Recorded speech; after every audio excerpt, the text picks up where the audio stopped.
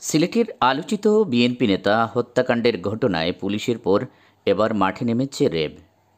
প্রথমে পুলিশ একজন আসামিকে গ্রেপ্তার করলেও পুলিশের পাশাপাশি এবার অন্য আসামিদের গ্রেপ্তারে আটসাটভাবে মাঠে নেমেছে র্যাপিড অ্যাকশন ব্যাটালিয়ন র্যাব ইতিমধ্যে তাদের অভিযানে সফলতাও এসেছে।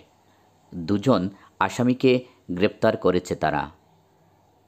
কারা সেই সব আসামি পরিষ্কার করব ভিডিওতে এবং কীভাবে তাদের গ্রেপ্তার করেছে সেই বিষয়টি আলোচনা করব পুরো ভিডিও জুড়ে।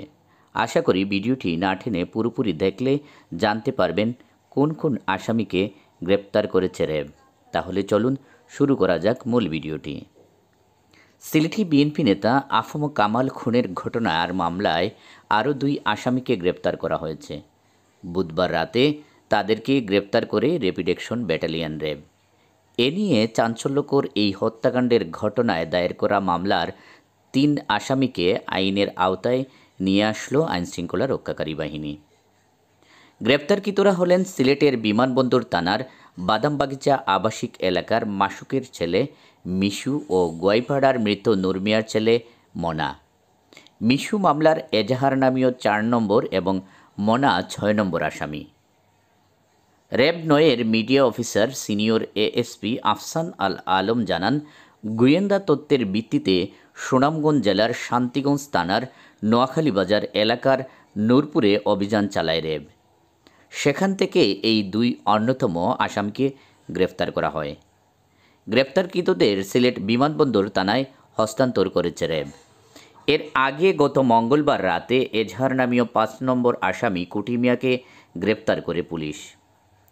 জানা গেছে, গত রোববার রাত আটটার দিকে সিলেট জেলা বিএনপির সাবেক স্বাস্থ্য বিষয়ক সম্পাদক আফম কামাল সিলেট বিমানবন্দর এলাকা থেকে আম্বরখানা বড়বাজার হয়ে গোয়টুলের দিকে যাচ্ছিলেন। তার গাড়িকে অনুসরণ করছিল দুটি মোটরসাইকেল। তাতে আরোহী ছিলেন তিনজন। পরে আরেকটি মোটরসাইকেলে থাকা দুই ব্যক্তি বড়বাজারের একশো আঠারো নম্বর বাসার সামনে কামালের গাড়ির গতিরোধ করে।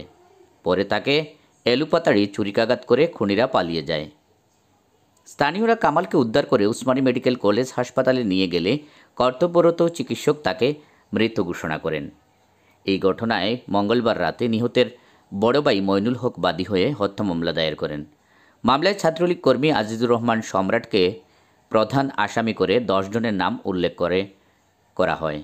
এছাড়া অজ্ঞাত আসামি আছেন আরও পাঁচ থেকে ছয়জন বন্ধুরা, যদি ভিডিওটি ভালো লেগে থাকে, তাহলে অবশ্যই লাইক কমেন্ট এবং শেয়ার করে অন্যদের দেখার সুযোগ করে দিবেন এবং সেই সাথে একটি অনুরোধ, আপনারা যদি আমাদের চ্যানেলটিতে নতুন হয়ে থাকেন, তাহলে অবশ্যই চ্যানেলটি সাবস্ক্রাইব করে পাশে থাকা বেলাইকনটি বাজিয়ে দিবেন। আর যদি আমাদের ফেসবুক পেজটিতে নতুন হয়ে থাকেন, তাহলে লাইক অথবা ফলো করে সাথে থাকার অনুরোধ রইল। পরিশেষে ভিডিওটি দেখার জন্য সবাইকে অনেক অনেক ধন্যবাদ এবং কৃতজ্ঞতা।